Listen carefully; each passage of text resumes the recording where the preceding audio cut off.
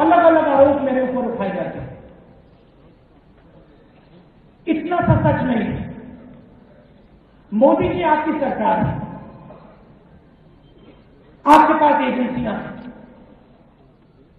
आप ले एजेंसियों को। मेरे ऊपर इन्वेस्टिगेशन करो। और छह महीने के अंदर अगर आपको कुछ मिले मुझे बंद कर the way the central government functions, this is the way they think. So they, they think they can, you know, do this type of vendetta politics.